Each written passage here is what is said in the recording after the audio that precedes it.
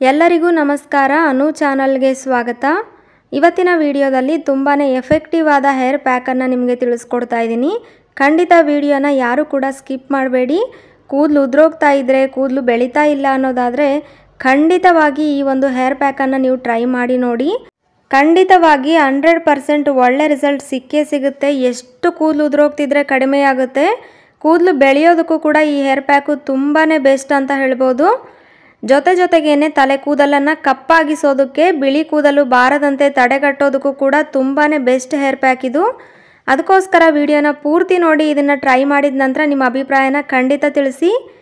ಈಸಿಯಾಗಿ ಎರಡೇ ಪದಾರ್ಥಗಳನ್ನು ಉಪಯೋಗಿಸ್ಕೊಂಡು ಈ ಹೇರ್ ಪ್ಯಾಕನ್ನು ತಯಾರಿಸ್ಬೋದು. ಉಪಯೋಗಿಸೋದು ಕೂಡ ತುಂಬ ಸುಲಭ. ಬನ್ನಿ ಹಾಗಾದರೆ ವಿಡಿಯೋನ ಸ್ಟಾರ್ಟ್ ಮಾಡೋಣ.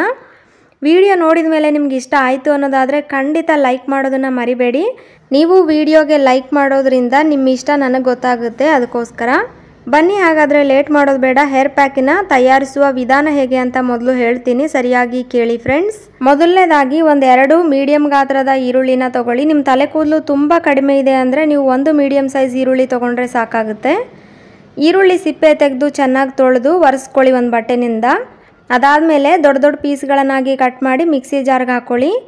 ನಂತರ ನಾವಿಲ್ಲಿ ನೆನೆಸಿದಂತಹ ಕಲೋಂಜಿ ಬೀಜಗಳನ್ನು ತಗೊಳ್ಬೇಕು. ಎಂಟರಿಂದ ಹತ್ತು ಗಂಟೆ ಚೆನ್ನಾಗಿ ನೆನೆದ ಎರಡು ಟೇಬಲ್ ಸ್ಪೂನ್ ಆಗುವಷ್ಟು ಕಲೋಂಜಿ ಬೀಜಗಳನ್ನು ನಾವು ಮಿಕ್ಸಿ ಜಾರ್ಗೆ ಈರುಳ್ಳಿನ ಕಟ್ ಮಾಡಿ ಹಾಕಿದ್ದೀವಲ್ವ? ಅದ್ರ ಜೊತೆಗೇನೆ ಹಾಕ್ಕೊಳ್ಬೇಕು. ಕಲೋಂಜಿ ಬೀಜಗಳೇನಿದೆ ನೋಡಿ, ತಲೆ ಕೂದಲನ್ನು ಕಪ್ಪಾಗಿಸೋದಕ್ಕೆ, ಕೂದಲು ಬೆಳವಣಿಗೆಗೆ, ಕೂದಲು ಉದುರೋದನ್ನು ಕಂಪ್ಲೀಟಾಗಿ ಕಡಿಮೆ ಮಾಡೋದಕ್ಕೆ ಸೂಪರ್ ಆದ ಇಂಗ್ರೀಡಿಯೆಂಟ್ ಅಂತಲೇ ಹೇಳ್ಬೋದು.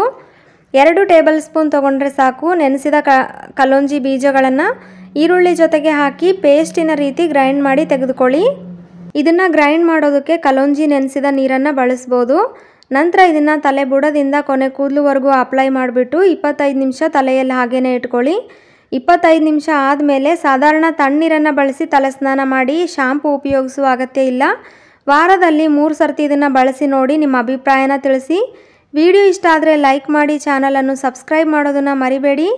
ಮುಂದಿನ ವಿಡಿಯೋದಲ್ಲಿ ಮತ್ತೆ ಭೇಟಿಯಾಗೋಣ. ಇದುವರೆಗೂ ವಿಡಿಯೋ ನೋಡಿದ್ದಕ್ಕಾಗಿ ನಿಮ್ಮೆಲ್ಲರಿಗೂ ಧನ್ಯವಾದಗಳು.